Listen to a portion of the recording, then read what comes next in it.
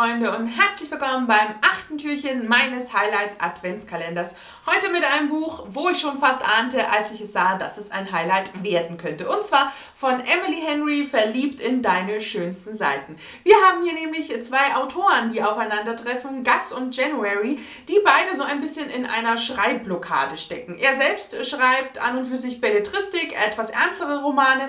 Ähm, January ist aber eher so die klassische Liebesromanautorin und beide treffen sich, weil ihre ja, aktuellen Schreibdomizile mehr oder weniger nebeneinander sind. Und sie unterhalten sich und sie beschließen, ja, einfach mal die Rollen zu tauschen. Äh, sie macht sich an seinem äh, ja, etwas ernsteren Roman zu schaffen und er äh, versetzt sich jetzt im Grunde in sie als Liebesromanautorin und versucht sich daran. Und beide merken, dass das gar nicht so einfach ist, wie sie anfangs dachten.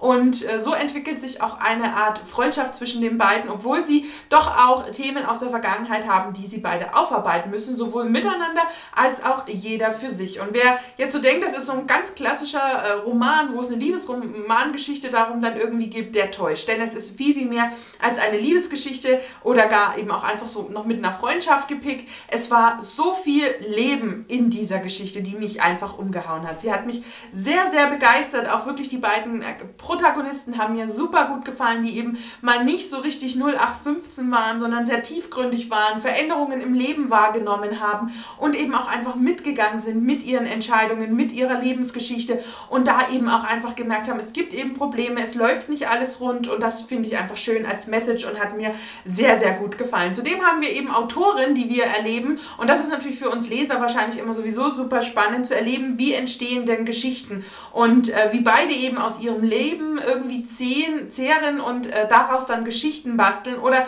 eben genau das Gegenteil davon machen fand ich wirklich großes, großes Kino. Ähm, es war ein Miteinander, das mir unglaublich gut gefallen hat. Es war January, die selbstbewusst war, die tough war, die aus ihrem Leben irgendwie auch gelebt hat, aber die eben durchaus auch ihre Probleme hat mit der Vergangenheit und dann eben auch mit Gast, den man eben wohl doch auch schon aus früher kennt.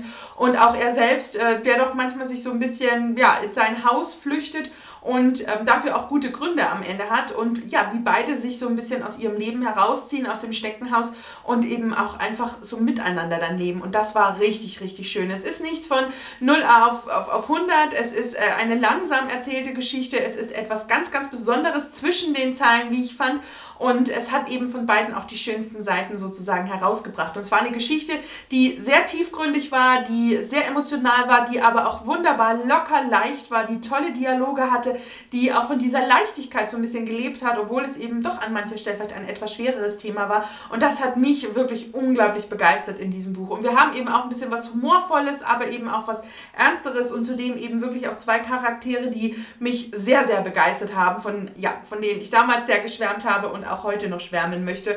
Und ich einfach das Gefühl hatte, man, man ist hier so dabei. Also man sitzt mit denen auf der Terrasse und hört denen zu, während sie über ihre Bücher sprechen. Die Leidenschaft von Worten und eben auch des Geschichtenschreibens, aber natürlich auch des Lesens und äh, wie, wie unterschiedlich beide eigentlich sind. Und doch verbindet sie eben was. Und dass das eben im Leben ganz häufig so vorkommt und man manchmal einfach nur die Gemeinsamkeiten suchen sollte und nicht immer das, was uns irgendwie unterscheidet. Und ähm, ja, jetzt werde ich hier schon. Äh, viel zu tiefgründig, aber ja, ein großartiges Buch, was mich super, super gut unterhalten hat und ich sehr happy bin, dass ich es schon in den Händen halte, dass es äh, als Highlight auch schon direkt im Grunde bei mir eingezogen ist und ich da einen guten Riecher hatte und mich einfach sehr gefreut habe, dass ich, dass ich es entdeckt habe und ich wirklich großen Spaß an dieser Geschichte hatte und es wirklich nur empfehlen kann, wer eben auch einfach mal ein bisschen was anderes lesen möchte als äh, ja, das Klassische, was man in den Liebesromanen oder ja, Lebensromanen irgendwie hat und ähm, ja, absolut absolute Empfehlung. Und das war jetzt auch schon das achte Türchen. Ich hoffe, ihr hattet Spaß. Ich wünsche euch jetzt einen wunderbaren Tag. Genießt den 8. Dezember. Lasst es euch gut gehen und bis zum nächsten Video. Tschüss, eure Steffi.